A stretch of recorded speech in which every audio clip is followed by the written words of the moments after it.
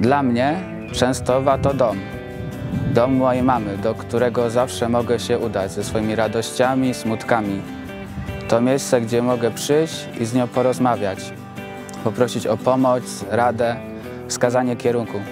Dlatego bardzo bym chciał Was zaprosić na czuwanie na Jasną Górę 29 czerwca.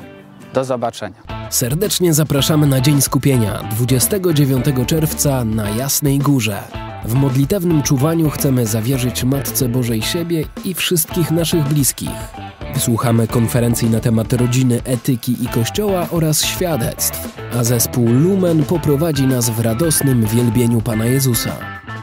Zapraszamy wszystkich. 29 czerwca, Jasna Góra. Czekamy na Ciebie.